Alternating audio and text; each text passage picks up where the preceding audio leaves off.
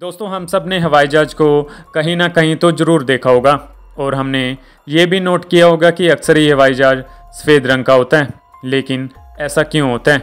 आइए जानते हैं।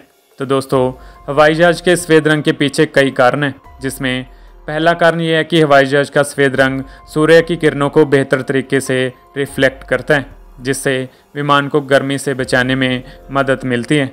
सफ़ेद रंग से विमान ठंडा रहता है। जिससे विमान के अंदर के उपकरणों और यात्रियों को भी गर्मियों से बचाया जा सकता है।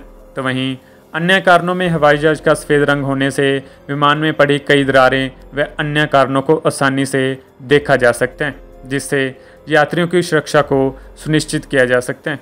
वहीं सफ़ेद रंग बाकी रंगों से हल्का भी होता है, जिसकी वजह से विमान पर ज़्यादा रंग का वेट भी नहीं पड़ता। और सफ़ेद रंग की विजिबिलिटी भी अच्छी होती है, जिसकी वजह से आसमान में या टेक ऑफ़ या लैंडिंग के वक्त भी आसानी से देखा जा सकता है, जिससे कोई भी दुर्घटना से बचा जा सकता है।